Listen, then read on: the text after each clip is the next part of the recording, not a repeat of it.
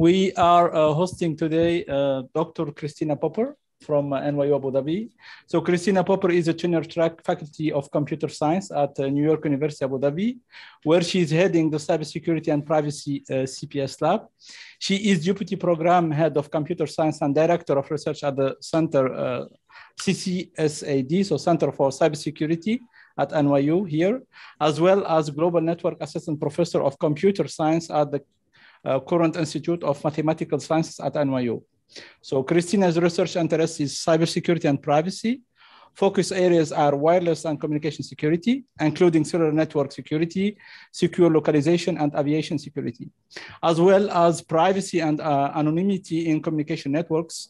Uh, Christina has been a member of steering committee of ACM WISEC, the ACM conference on security and privacy in wireless and mobile networks, since 2018 and was uh, TPC co-chair in 2018 and general chair in 2021. The research work of her group has been recognized by the Coordinated Vulnerability Disclosure Program of uh, GCSMA, the GSM Association, and since 2021, she has been a member of the executive committee uh, of ACM SIG uh, SAC. Uh, in an earlier life, Christina worked at the European Space Agency in Paris Space Rocks, and Christina holds her PhD and graduate degrees in computer science from uh, ETH Zurich. So the talk is yours. Welcome again. Thank you very yeah, much. I, think I will keep it here. Have, uh, I think my microphone should work. Yeah. Thank you very yeah. much for this uh, for this comprehensive introduction. it's a big pleasure for me to be here today. It's the first it's my first visit to TII. I've had a number of interactions with um, different members from TII, um, and we've met at different occasions at different places. But it's the first time that I actually visited visit your your offices here. So that's um, that's nice. Um, I would like to talk about um, some of our security research works that we did during the last years. Um, this is going to be mainly like an, an, overview topic. So I will talk, I will address different areas that we are working on. Um, I'll try to make it, I try to make it a bit inspirational as well. So looking forward as well, what might come in the future for some of those aspects. I will go uh, into some topics in a little bit more detail, but it's not really a technical conference like presentation or something. So there, there will be, I, I will be go, going over um, a number of, of, of, technical details that, that I won't address here. Okay. So um, let me start. We, we had a, a, pretty broad introduction already, so I can go over that um, kind of quickly. What I would like to mention is, so I'm, I'm leading the cybersecurity and privacy lab um, NYU Abu Dhabi. and uh, I've um, from since my PhD times, I've, I've focused on cybersecurity and on wireless security. During the last eight years, I've increasingly gotten interested in mobile and cellular security. So that's one, um, one big pillar of, of the research work that we do. And that will also be reflected in the talk that I'm giving. So I will focus on three different areas in my talk today. The first one is exactly this mobile cellular network security um, that I will be talking about. The second topic is uh, secure localization and uh, security in aviation, aviation security. And the third one is, um, is a bit of a, broader topic in terms of anonymity and privacy. So we, we address a number of different things. Um, for example, aspects of Tor, so anonymous networks and how you can do traffic analysis attacks, uh, things like that. But I would, what I will focus on today is, is a, um, a small, a small or a nice recent uh, example of the research work that goes into the security of, um, of messengers, of today's messengers that we are using. Okay. Um, so let me start um, with the first part on mobile network security when we look at the um, the generations over time, oh, generations over time, I'm coming there in a moment. When we look at the the cellular networks nowadays, how they look like, and the, the, the abbreviations or terms that I will be using, with user equipment that is um, with wireless connections connected to, to radio networks. So those are the base stations here with different terminology. So that's for um, uh, the Bs. GNB is for, for 5G networks was eNode Bs before ENB and, and, 4, and 4G communication. And then we have behind that um, the core network here with different aspects. That's all the core network that then connects to the internet. Um, that's kind of a, the rough idea of this, of this infrastructure in terms of having these connection points and in terms of having user equipment connecting to wireless base stations that are then connected to some form of um, core network behind that that's been um, in, in place for the mobile network generations basically almost since the since, since the beginning, almost I say, because it was a bit different um, when we look at 1G, uh, so the first generation mobile networks that, um, that were based on, on analog communication, so didn't use digital communication. Um, but as soon as we talk about uh, 2G, SMS, and digital communication started, with 3G, we saw the first web applications coming up and some form of widespread um, mobile um, um, network usage. 4G, we had widespread mobile applications, uh, or we are having them nowadays still with, with widespread uh, a wide bandwidth that allows a lot of different applications to be run over those networks. We're now here at the, at the 5G level um, that uh, are increasingly being set up. Not all of them are fully uh, on the full 5G capabilities. Some are in some um, transmission mode or transition mode between 4G and 5G. And we are heading then towards uh, 6G by the year 2030, more or less. So that's that will enable a lot of a lot of other new um, um, application scenarios. Okay, pointer doesn't work. Okay. Um, now, in terms of security aspects, what is it that uh, that mattered during those timings? And I wanted to go through that shortly if it comes, yes, it comes. Um, so let me let me jump quickly over the the analogs. For systems, this was audio only and uh, without basically any security or privacy guarantees. So we are quick there. It started to become more interesting with, with 2G, where first um, one-way authentication was introduced, meaning that mobile devices would authenticate towards the network, but the network didn't authenticate towards the users. So it was very simple for an attacker to actually uh, build up a connection with, with users claiming to be the real network. And there were other aspects like, like weak encryption algorithms that were in use and so on. With 3G, what we've seen more are first like viruses, malware coming up. Um, it went on to, to go over to IP traffic. So the typical IP traffic vulnerabilities that we see in other networks as well is what came up. There were some encryption key um, issues. Now, what started to be interesting from my side was is, is the 4G vulnerabilities, basically, because this was the time when we started to go into the research, security research for, for wireless, uh, for mobile networks. Um, and there are a number of, of vulnerabilities that we have, that we and other groups have discovered over the years. Um, one example is um, missing integrity protection for the user plane traffic. So there are two planes, the control plane messages that organize the setup of, of calls and signaling, and then the user traffic basically. And there's been missing integrity protection for the user plane traffic. Um, also, user tracking has been one big issue in, in 4G networks because the, the identifiers, although they were temporary, it, was still possible to track users um, following basically where their identifiers went.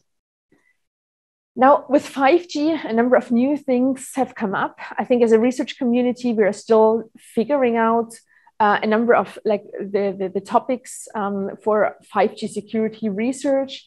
Very likely that's going to to do with vulnerabilities in, in the new um, um, kind of the, the, service network, the new services that are being off offered with SDNs, with cloud techniques. So the interactions from the 5G systems um, with, with those, also the openness of the network that would allow, so it's not a, a limited infrastructure anymore, but it would allow others to join in basically to offer services is something that can be expected to create um, vulnerabilities.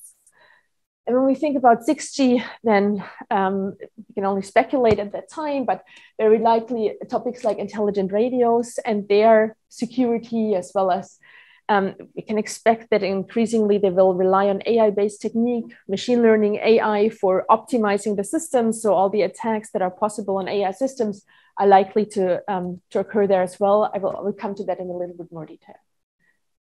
Um, now, when we look at um, the, the sphere, um, we can look at it in a way that, on one hand, uh, these mobile networks concern specifications. So that's then uh, about the specification and standardization bodies like 3GPP that define the documents and the, the specification basically that are then realized and implemented by manufacturers in the devices. Um, and then we have um, the actual deployment of those systems, um, and those are then like the the usual suspect like Etisalat and Du here in the UAE that are offering those services at the end. And we look at, at weaknesses or vulnerabilities on, on all of these stages. Um, just to mention these, these specification documents, so just the, the, not the entire architecture itself, but just the security um, specification of um, like the, the, the, current 5G systems, this is typically a few hundred pages, only the security specification. So it's a, um, a reasonably complex system to look at and to get right. Um, in terms of research contributions, um, we try to, like as I mentioned, uh, look into different aspects here. Um, we started off with specification issues and attacks that we called um, aLTEr attacks. Um, I will come to some more details there, but basically it allowed to break um, into the missing or to misuse the missing integrity protection that I mentioned for the user plane traffic. Um, and we were able to um, basically impersonate users by set. So an attacker could take over a connection and impersonate users by those in, in 4G networks. Um, we looked at call issues. So when you use voice over LTE, they are encrypted. Um, and we found some weaknesses um, by reuse of, um, of, of, counters and um, uh, cryptographic material. It was possible to basically XOR again. So you have XOR operations for, for realizing the encryptions. And for redoing those operations, we were able to, to de-encrypt uh, calls that, that we were not supposed as an outsider to decrypt. Um, and, and this is to a large extent due to, to implementation um, issues, how, how this was realized, not necessarily due to the specification. We looked at deployment issues. Um, how, how are the systems, the, the networks really um, realized? How are they deployed? Which configurations set up and what are possible vulnerabilities? In terms of 5G, we went over to analyze um, vulnerabilities in certain parts of the entire infrastructure. We particularly looked at the handover structure and um, the, the latest recent work was on the warning and emergency systems, and we showed how an attacker could actually impact those systems, introducing false warnings or um, making sure that users uh, do not get warnings that are being sent out via cellular networks. And we try to understand what, what attackers can do. Um, we also, like as a general thing, everything that's in blue here has some security testing aspects. So um, that's we are practically oriented as a group. So we, we, we test, so security testing for, for devices um, is, is, is a current topic as well that, that we are looking into. Um, there are a number of different security requirements. I want to point out um, one of those aspects, which is identity and lo location privacy. So knowing where users are, or it should not be basically public knowledge when you use your mobile phone where you are, right? That's an aspect that I will um, that I will go into a little bit more detail when I explain one of the, the research results. And then there are some some other uh, security requirements like mutual authentication between the user equipment and the mobile state, um, the, the base stations, um, traffic confidentiality, so that everything is encrypted, cannot be decrypted, things like that. Um, in terms of enhancements, when we look at what happened from 4G to 5G, so the networks made, made massive improvements in terms of, of bandwidth that, that 5G offers more than 4G, uh, latency reductions, but also security made large steps forward.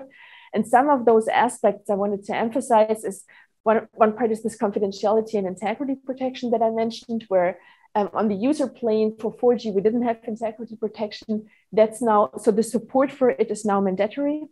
It's not necessarily clear that it's also oper in operational state, but at least the systems need to support it in general, um, which means that some of those attacks that we showed, showed for 4G, um, like the aLTEr attack, if that's properly implemented and properly uh, realized and operational, then those attacks are not possible anymore, which is good for the security of the, of the network in general.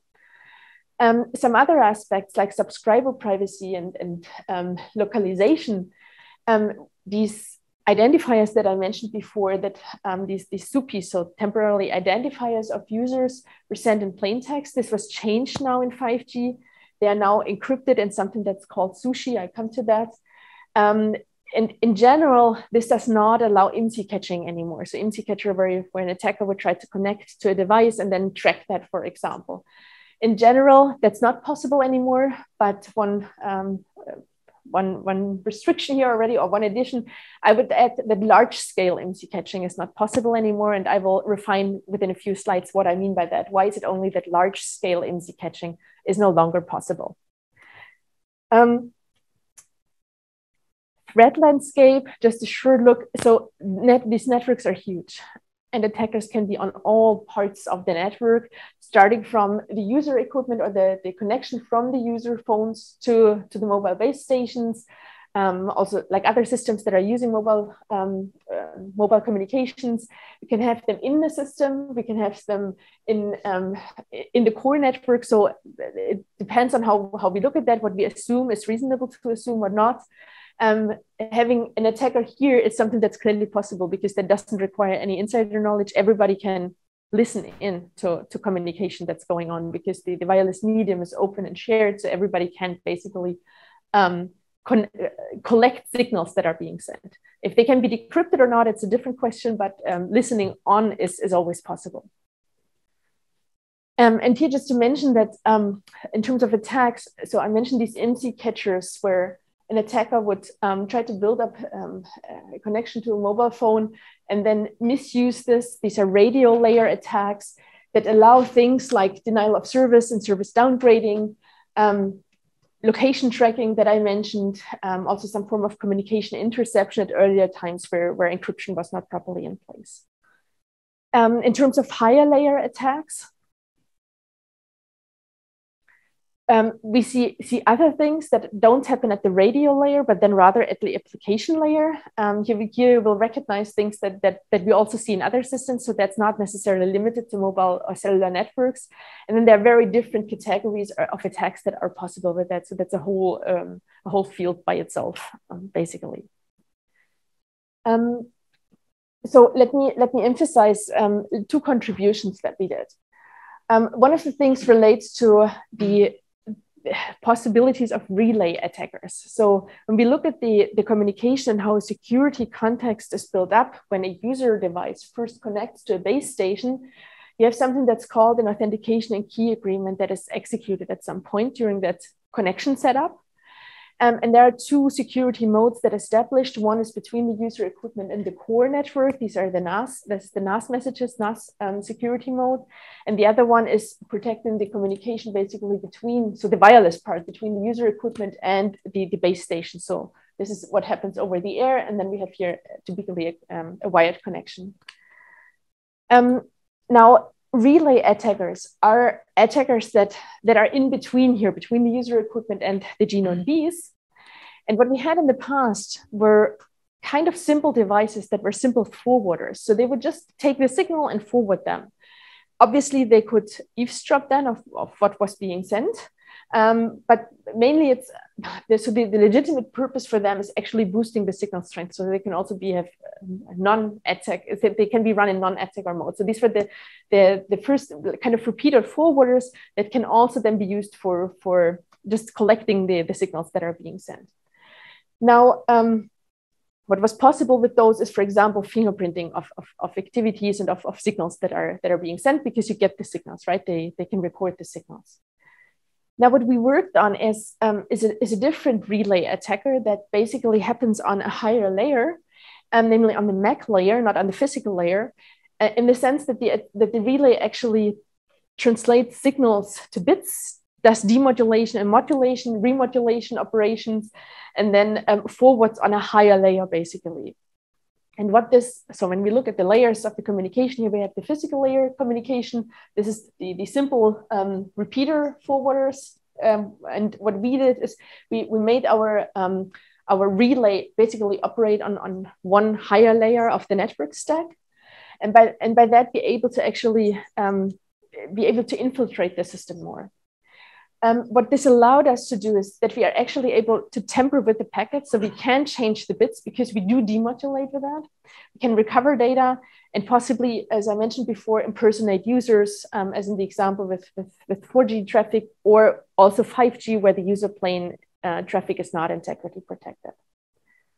Um, other people have built on this um, in, in, more recent work, um, bridging to 5G basically, where they try to, where um, Similar things were based on this, this relay attacker were then realized on, um, on, on, on 5G systems.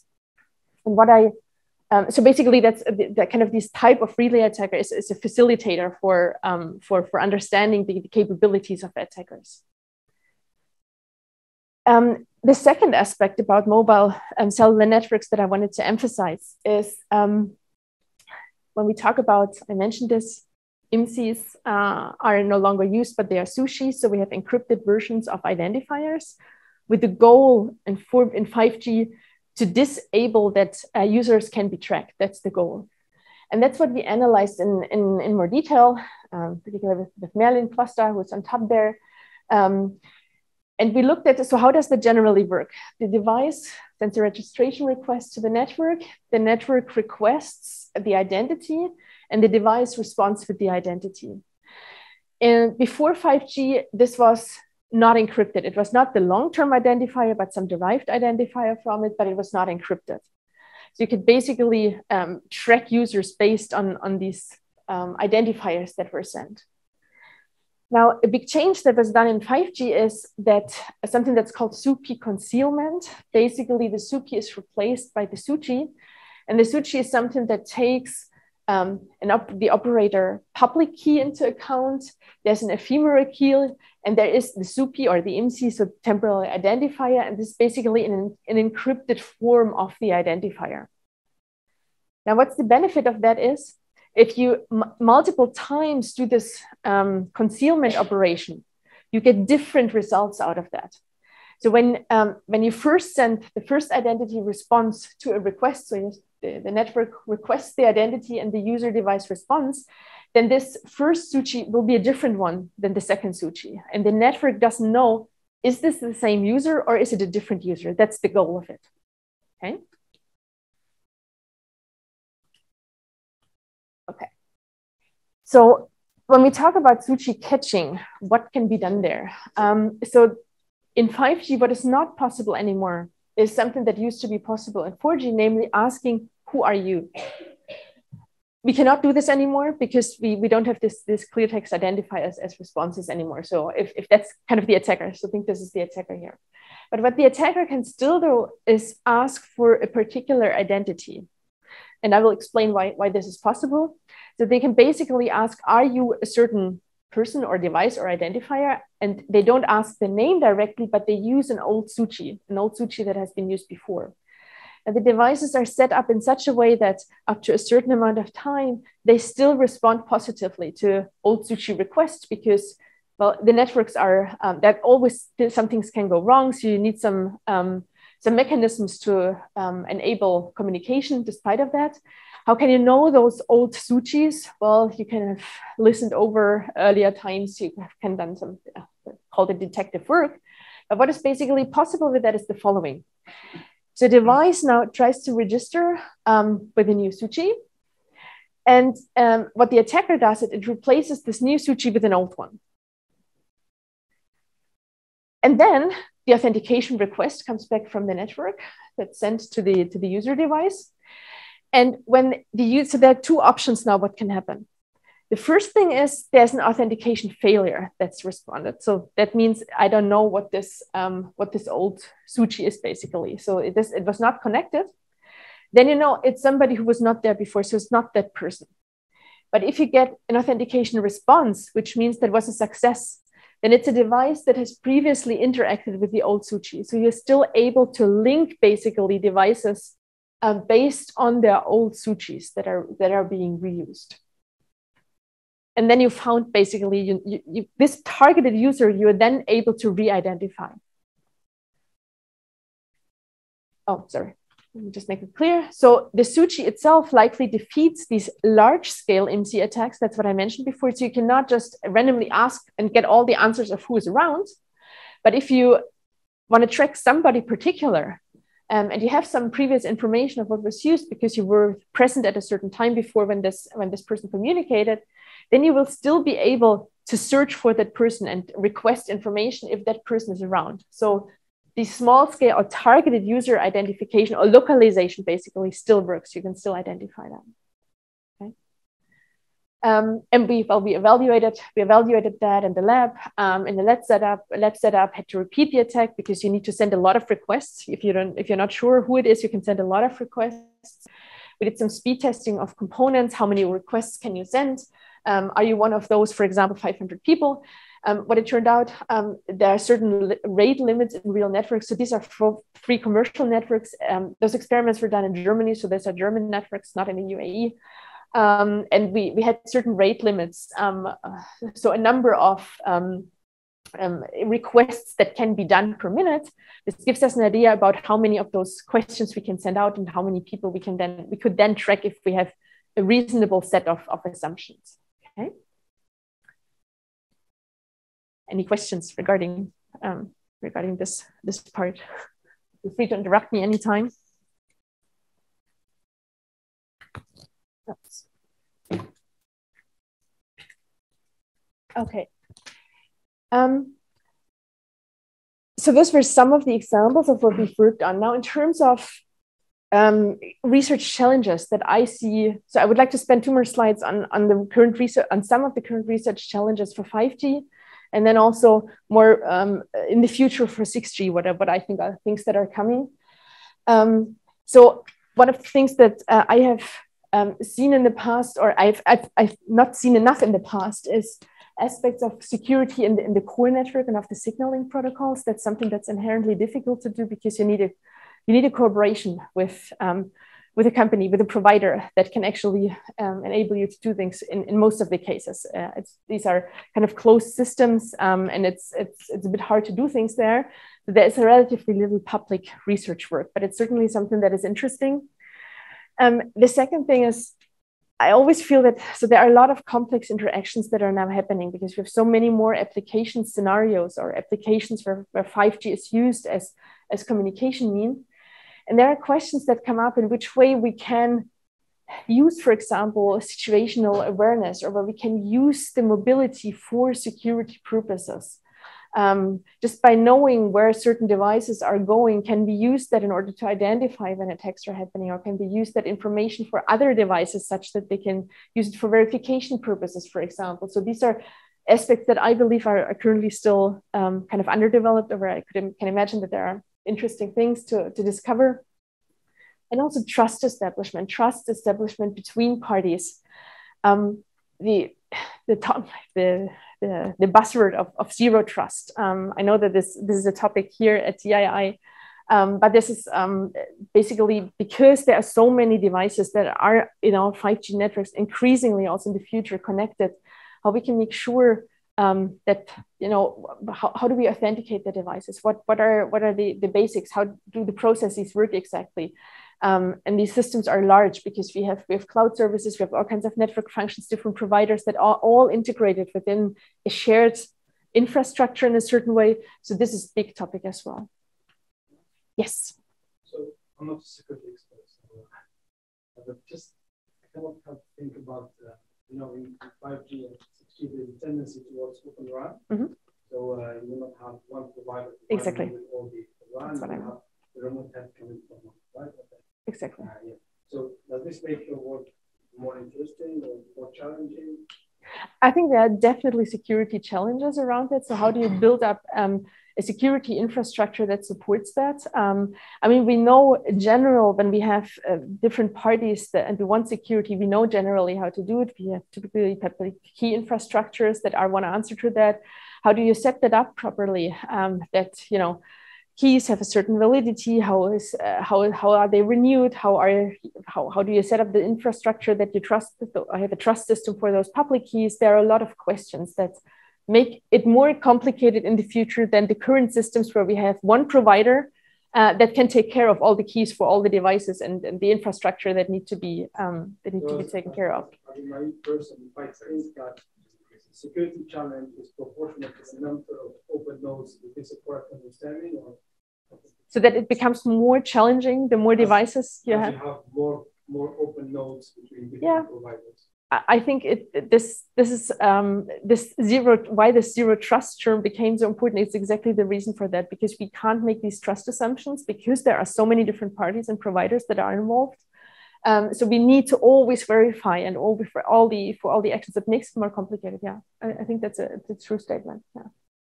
And, uh, yes. If you move the clock forward yeah. ten years, how do you see these uh, challenges?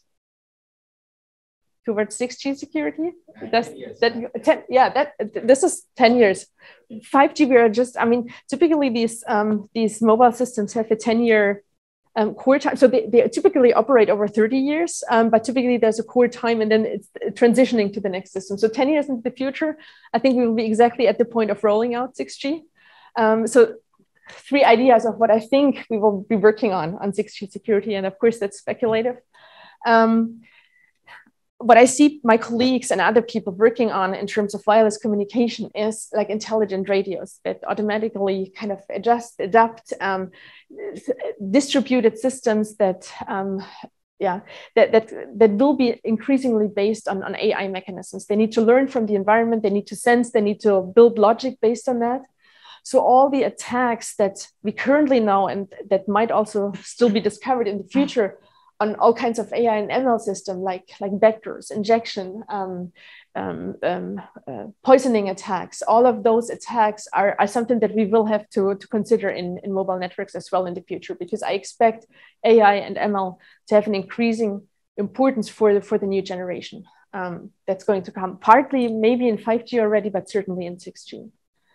So that's one aspect. The second thing is, uh, is this tendency that we already start to see now, um, where, where the different networks are not considered only in, uh, individually anymore, but increasingly looking for solutions that integrate them into a, a larger, a larger infrastructure.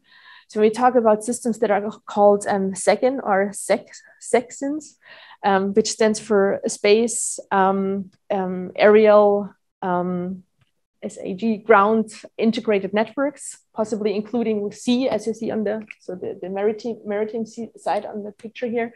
So the idea is that you have systems that with 6G communication integrate all of those systems together. So if you maybe you're on the ground, your wireless connection breaks, so your Wi-Fi breaks for whatever reasons, then you're able to go via the space link, for example, or something that's then supported by maritime uh, links. So all of that in a larger infrastructure and this, I mean, I cannot assume that this can be developed without introducing new vulnerabilities because all of those systems themselves have already vulnerabilities. And when you put those all together, um, I, I'm pretty sure that there will be, I mean, we will have to work on, on solutions for making these larger systems operate um, um, in, a, in a secure manner, as secure as we can. We never get 100% security anyways, but um, that's, yeah, the goal.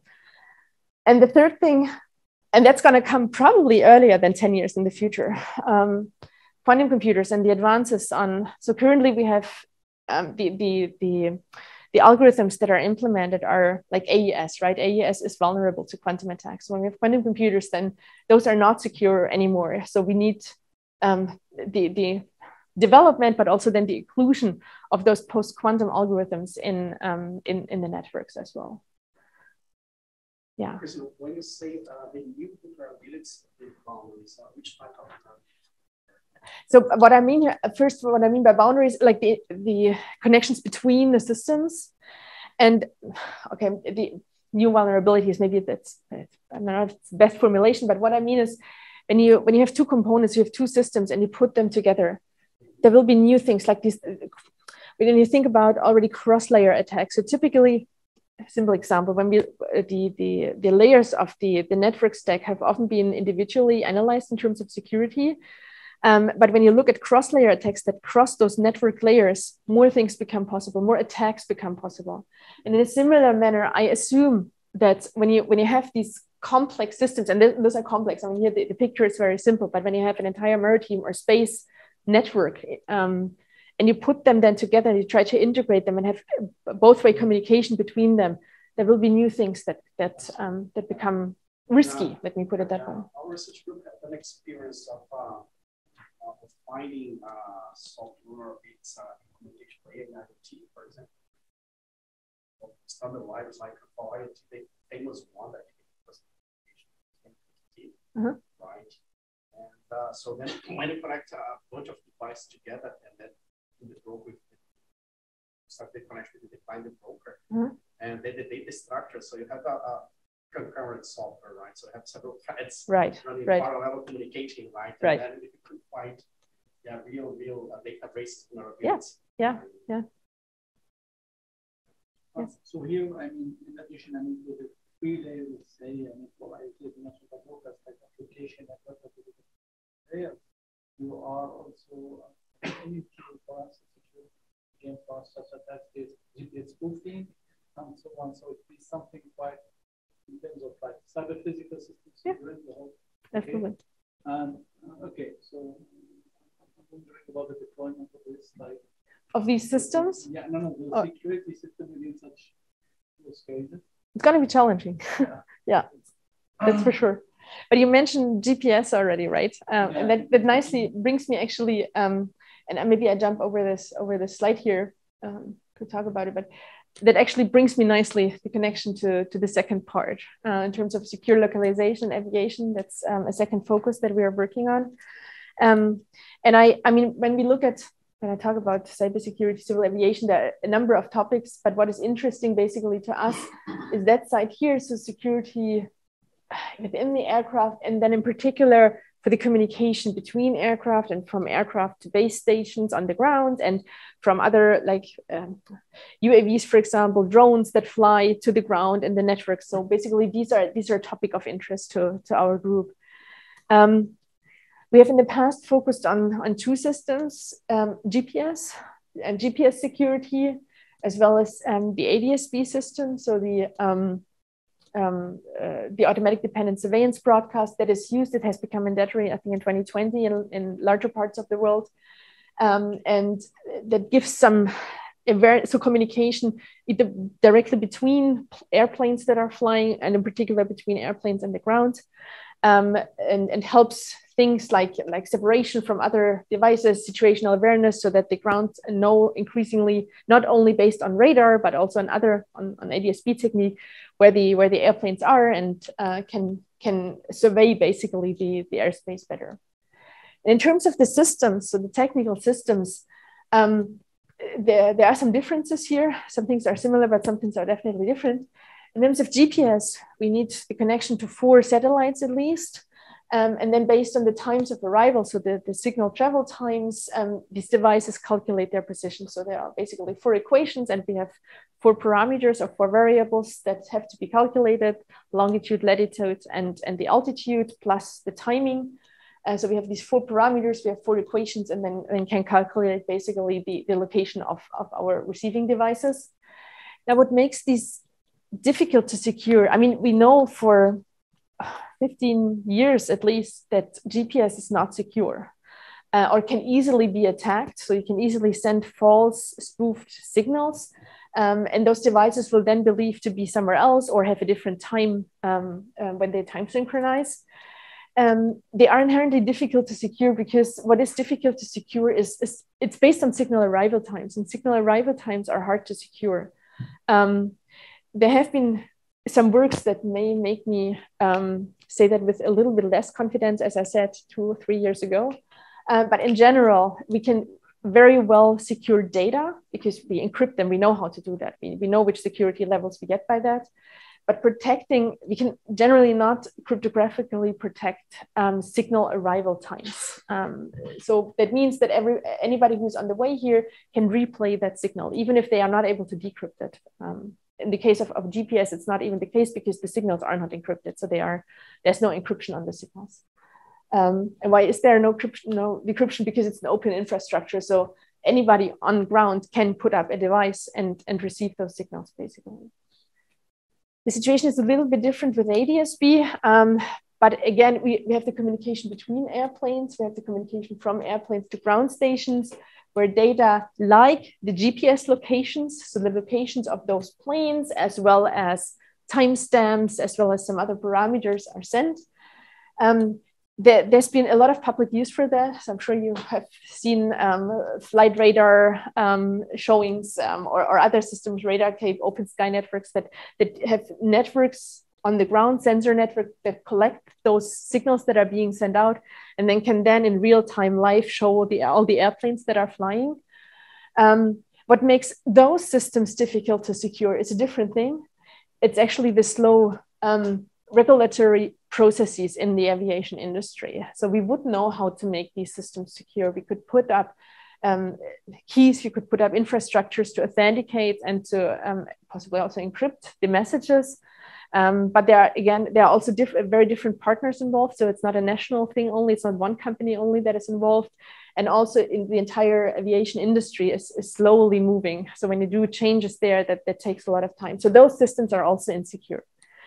And we um, we considered both. We looked at um, both. Uh, just one one example here for um, about how much change I've seen over the years. A couple of um, so maybe like almost 20 years ago, you needed very high cost special purpose hardware if you wanted to be an attacker on those systems and send fake GPS signals. When I started working on it, um, we, could, we would use GPS satellite simulators that were, were still reasonably expensive, uh, pretty expensive, I found at that time.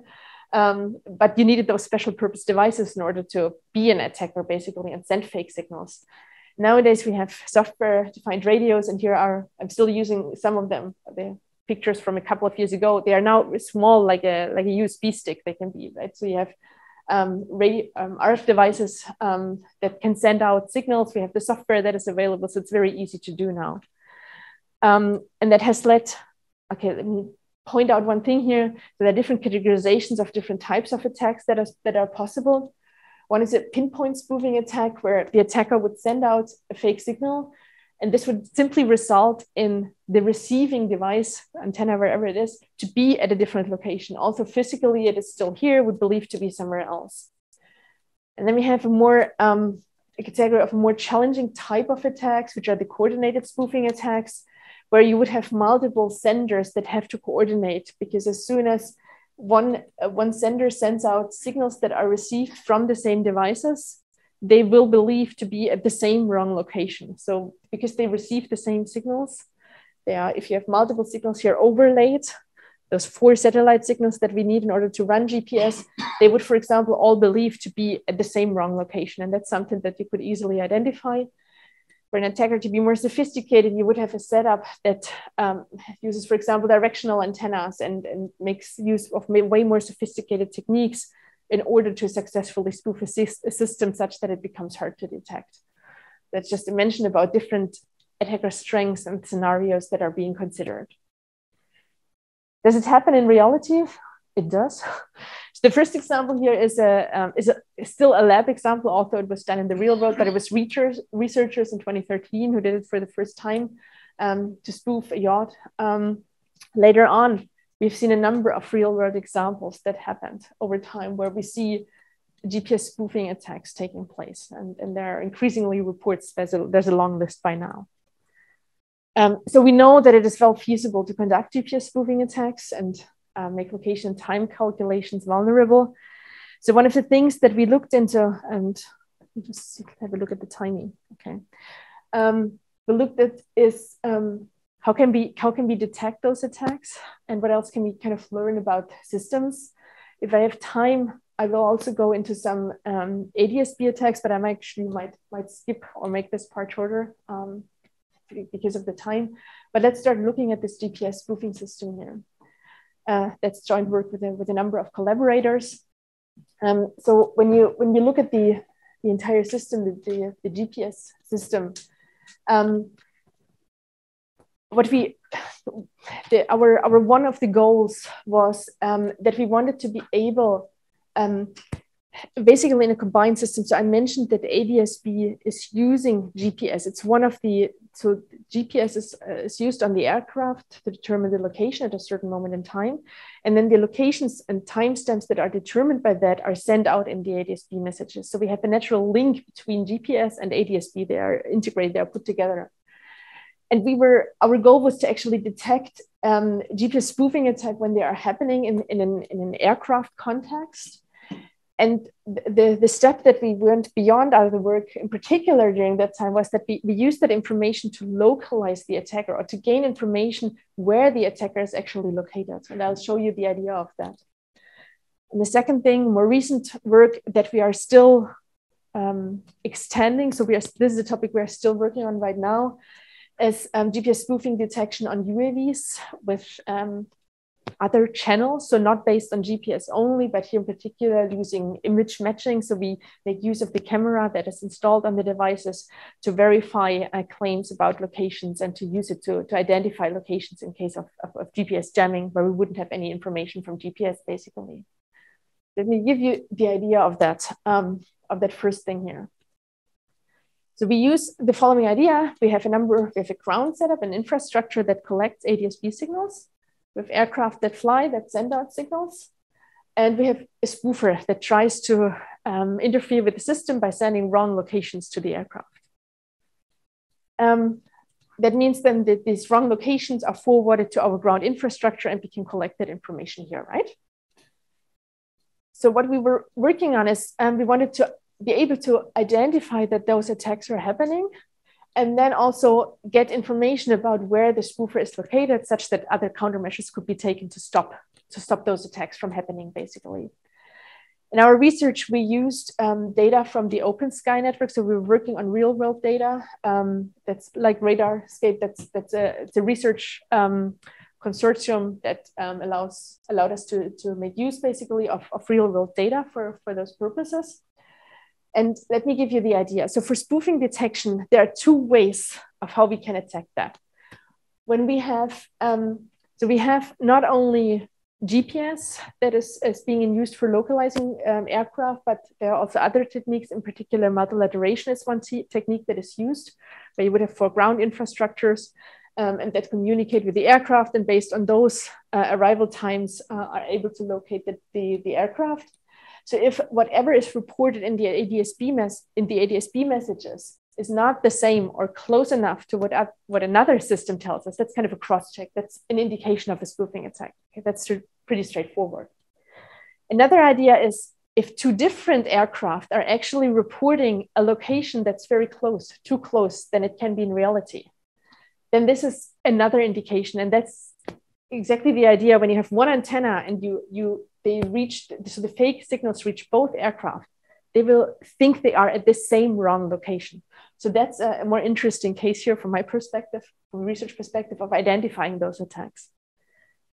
Now, in terms of local, localizing the attacker, we went a step further and just the rough idea. So we have the attacker that sends out signals, and those signals arrive at those aircraft at a different point in time. So it will be a little bit earlier on the first aircraft and a little bit later on the second aircraft because the paths are longer, right?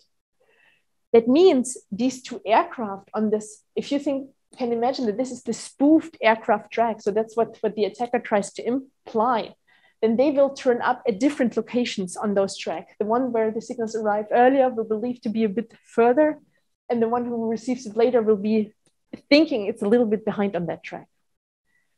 What we do, and I will give you the, the idea on the next slide in a little bit more detail, we use multilateration, we turn around the multilateration problem. So we don't multilaterate on the aircraft to localize them, but we basically use these signal arrival times that indicate different times on our track here to be able to localize the spoofer, so the jamming device that sends out those fake signals and then did uh, simulations and some on, based on the real world data that we have to show that.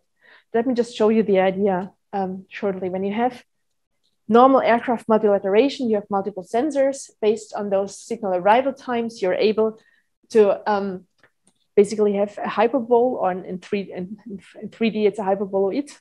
And then you know um, it, this aircraft must be somewhere on this on this hyperbole here or, the, or a hyperboloid.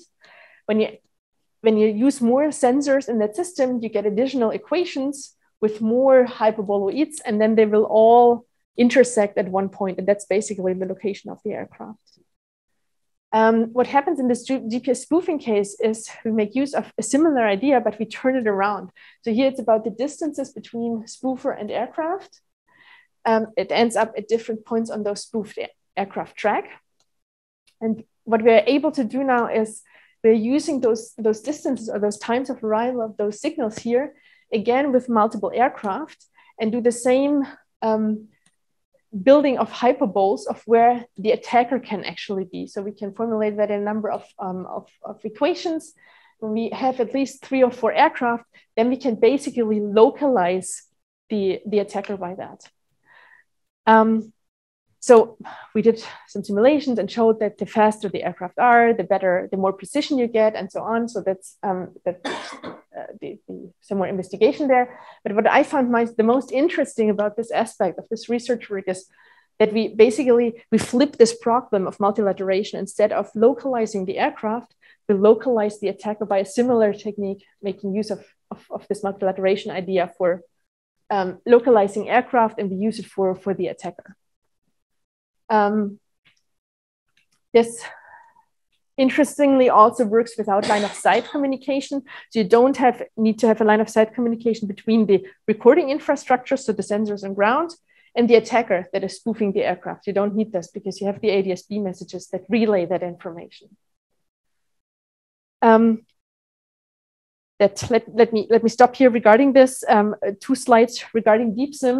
Um, so I mentioned using a separate channel to identify GPS spoofing attack. When you do that on drones, the idea here is um, we can on one hand we have satellite imagery, Google Earth, for example, other systems as well.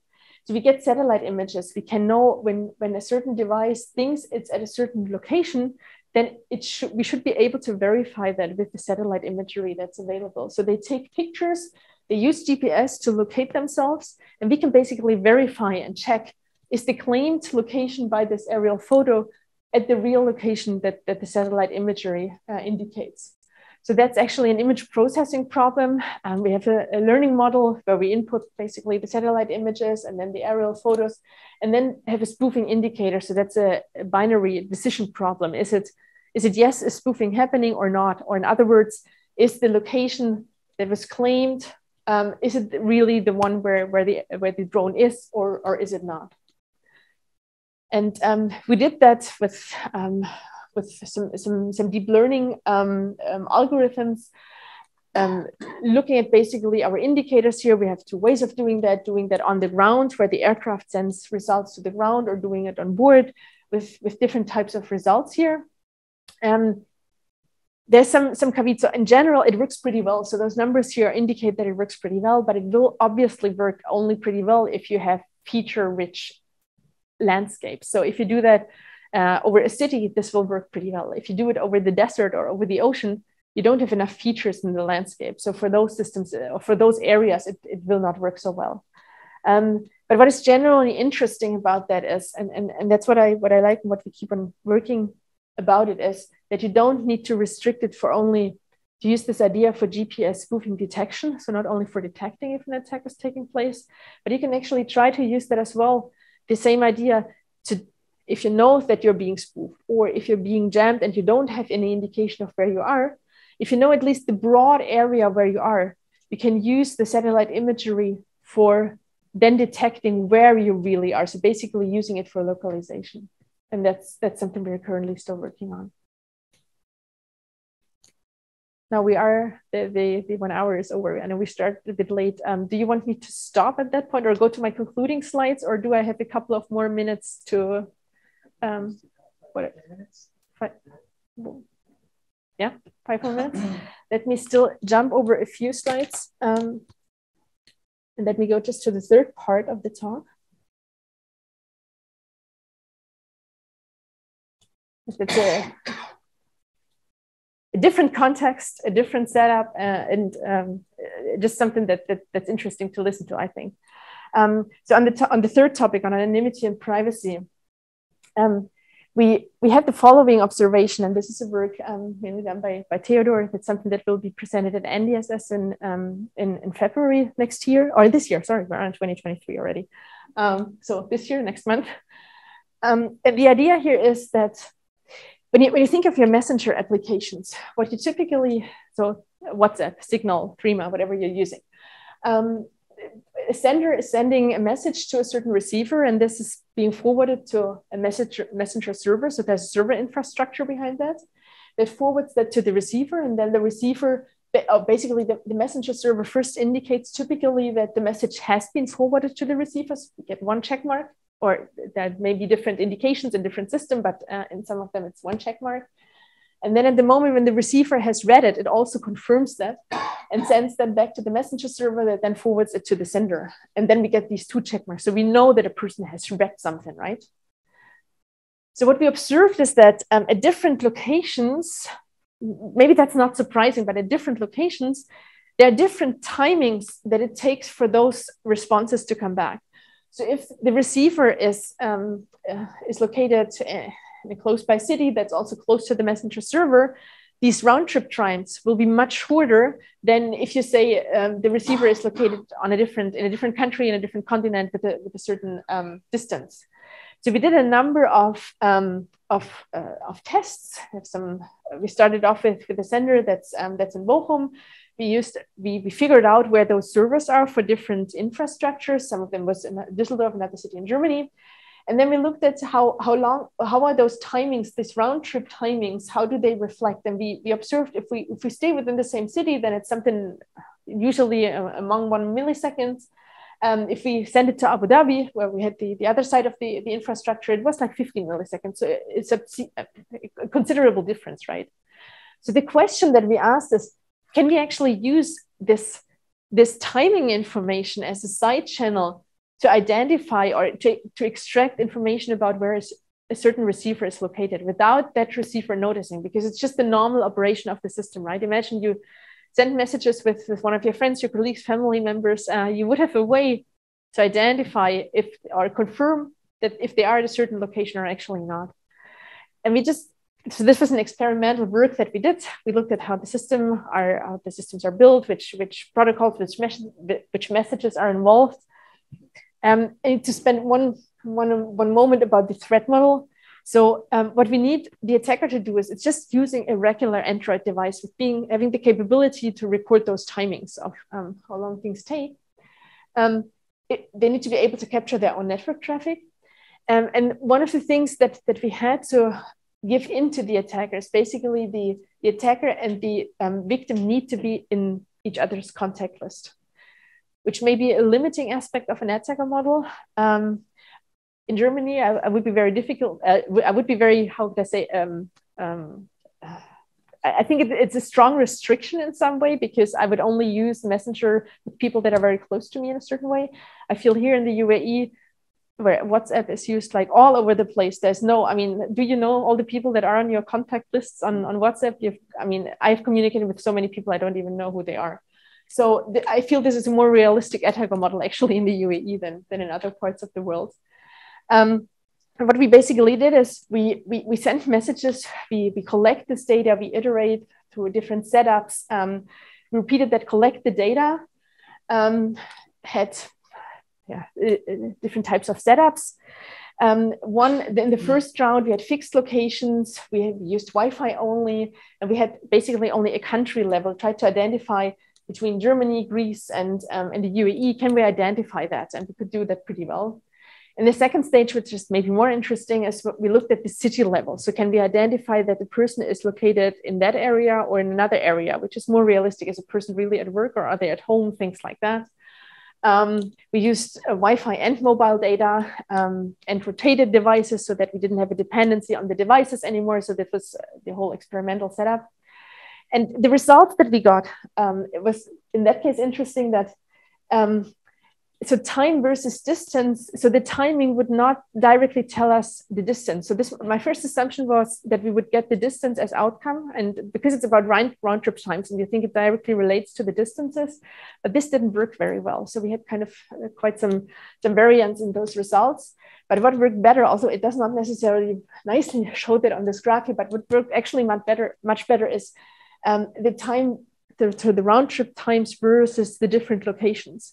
So it's not really a localization system that the attacker gets, but it's a, a classification by which an attacker can verify is a certain user at one of a set of locations or not, where, where data was pre-recorded.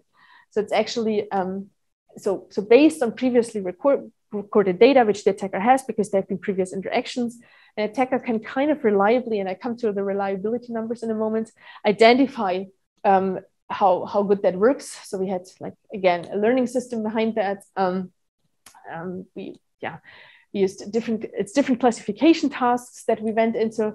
Um, let me spare you with the details, but let's look at the results in terms of figuring out the country in which a receiver is. For the different, the three different messengers here, so Signal, Threema, and WhatsApp, um, we got something between 74 and 84 uh, percent of precision of among those four different countries. We had four countries, uh, UAE, Germany, Greece, and Netherlands. Um, those were the, those percentages and, and correctness of the, the, the, estimate where a certain user is. Um, we had further results um, regarding um, basically the devices at a certain location where we used, um, we used more receiving phones. We had multiple, in, in that case, three or four locations within Um, that was within a city, so it was within a smaller context, as I said, the second set as experiments. Um, and we also used the network connection. So can we identify somebody on Wi-Fi or do they use the, their, their, mobile, their mobile communication? And that worked surprisingly reliably in a, in a lot number of cases, except for um, signal in the UAE. And here I think that some filtering and restrictions for signal in the UAE um, get in. So we could actually see that in the data. I'm almost done. Countermeasures. Um, countermeasures, uh, what is kind of maybe an, an, obvious thing, but what we could do is introduce some random delays in that so that the responses, the confirmations are not sent instantaneously, but there's some random delay. Would that harm users? Well, the messages would still be received in time, so there's no delay on that. You just get the confirmation a little bit later. Up to a certain level, I feel that would be something that is, could be um, accepted by users. Um, we found that in our experiments, up, like five seconds is something that would already be good enough that we cannot distinguish it from from random um, um, from, from, random uh, timings here anymore. So if, uh, if we add up to five seconds of random delays, we cannot distinguish different locations or, or connections anymore. Um, of course, if we disable delivery confirmations at all, this would entirely prevent the attack, but that's not very user friendly. So I understand if, if the, the apps do not want to implement that, that would be the, easiest countermeasure.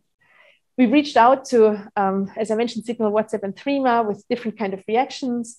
Uh, um, some of them were very responsive and they explored it themselves. They are considering at least giving users the option now for enabling things or adding some delays to that. So that's a kind of currently going on, and I, I, hope we will further hear back from them what what they decide to do with that.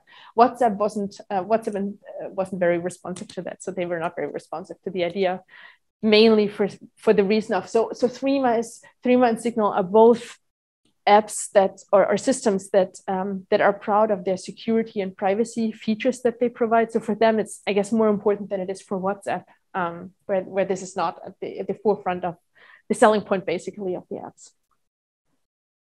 With that, I come to the conclusion. Sorry for taking for keeping you here a couple of minutes longer than I than I planned. Um, our research work, we, we have these three main areas that I talked to you about mobile cellular network security, secure localization, aviation, and uh, different aspects of anonymity and privacy in internet um, systems. We've also kind of recently started on, on some other topics. So I'm just mentioning it in case you are working or some, some of you are working on similar things and you want to connect. Um, we've started to work on mis and disinformation campaigns and how to detect them. That's also an NDSS paper that, that will come up, um, will come out next month. Um, and some, some security and privacy issues in, in large scale language models. A lot of people are working that nowadays. Um, so that's maybe not surprising, but just wanted to mention that.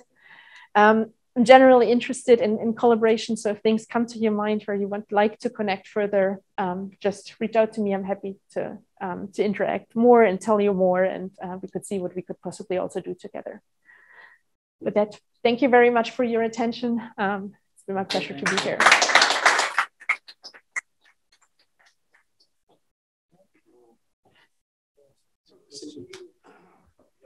Main research here is that uh, of secure of real world uh, distributed systems. Yeah. Okay? And uh, you have applied uh, techniques in the domain of aviation and messengers, right? What about autonomous vehicles? Did you try to look at the security of autonomous vehicles because you have many processors in the car that they connect via CAN, for example, right? And then you have the problems of encryption of the CAN. Yeah. Uh, so can you, you say a few words about that domain? Yeah.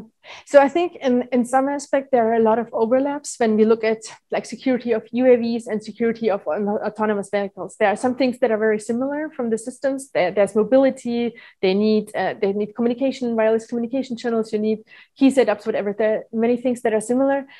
I've not particularly gone into um, autonomous on-ground systems. So I'm not really sure so I'm just thinking like uh, live now with you, what could be particular questions that are distinct in those systems? Um,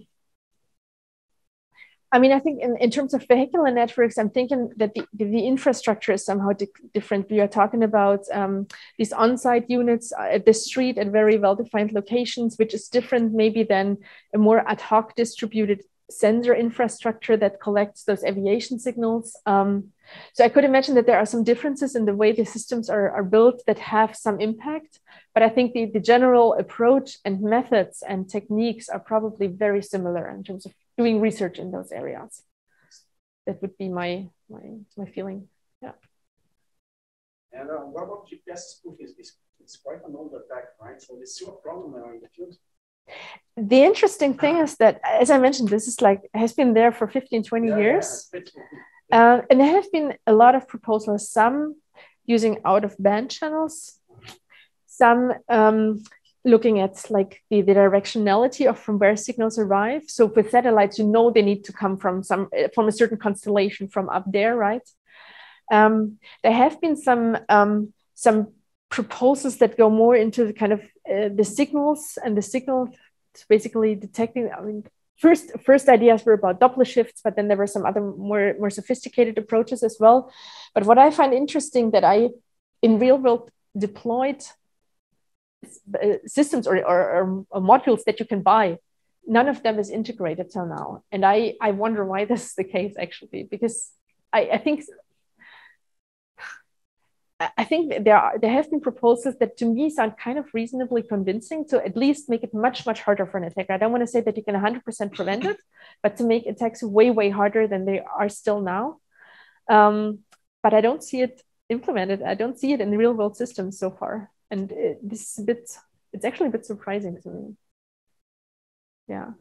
Yeah, and then my last comment about the presentation. So you have uh, shown other research directions and then we have lots of uh, AI models, right? Yeah. And uh, today we have just uh, started a prototype. I think it's with your university, right? Uh, it's the same, it's the same university, yes. right? So mm-hmm. maybe uh, we can see some yeah, collaboration yeah. of 6G, right? Secured AI model, right? Yeah. And then also uh, yeah, he, like Shafiq has the office two yeah. or three next to mine. So yeah, yeah, I just left before. Yeah. He was here before. Yeah. Oh, I really? I didn't know. I said, "What's happening?" we should we should have coordinated. But uh, just to be fair, I was I wasn't at NYU for three days. I was at a workshop I, where I come from directly, so that's why I guess we didn't interact. So I didn't know. One question, I mean, um, I mean, regarding what you mentioned, I mean, for uh, the side channel attacks for other application layer, is there any uh, defensive like policies or countermeasures that have been which side? developed like for the side channel attacks? We were like talking about the time characterization for the different application before. Are you talking about uh, gps now or are you no, talking after, about i mean the application layer for for for the network side channel one side channel attacks uh, sorry and so on oh the the last part yeah, sorry yes that one okay okay no no yeah now, can you ask your question again? I was in the wrong, yeah, uh, the mean, wrong area. Is there any like uh, defensive um, uh, policies or countermeasures that has been implemented for such attacks once? Yeah, I mean, characterized? Yeah, I mean, we, we reached out. We reached out with our suggestions. I mean, as I said, the, the easiest but also dumbest suggestion is just to disable the confirmations, but that's not very user friendly. So people like to have it. I like to see when somebody has read, right? So that's not going to happen. Um, introducing some form of delays I think is something that is reasonable. We can talk about how long those delays are, how long they need to be. Maybe it's just a few seconds. Maybe it's, you know, maybe you can optimize something that's even less. Um, but I think that's kind of reasonable, at least for people who who do care about the privacy when they're using those apps. Then they should have a way to enable maybe this this this option of having delays introduced, which make this attack not possible anymore. I, I would say it's not possible anymore. Um, so the as I said, so so Threema um, for whom like security and privacy is a very important selling point, marketing point, they responded very, um, very favorably, I would say. So they have, um, they came back to us that they are doing um, own experiments on that and they are evaluating that. And, and so, yeah, that, that was a good, a good interaction with them. Great. I think also uh, there are some also interest we are going to discuss it and because we see this as other application layer of an IoT uh, network, I mean, given the IEEE IoT paradigm uh-huh. has been defined, uh-huh. uh, maybe we can have some discussions later on regarding this. Uh-huh. Yeah. Any other questions, maybe? I think Said, you're interested on side channel attacks. And by chance, we talked about this this morning pertaining to some uh, power analysis. Okay. And uh, yeah, anyway, so uh, later on, I mean, we are going to synchronize and keep Christina maybe posted about our thoughts and and kind of matching. Thank you so much again. I think Pleasure. online uh, it was quite clear. Uh, there is no questions. We would like to thank you again. And uh, thank you.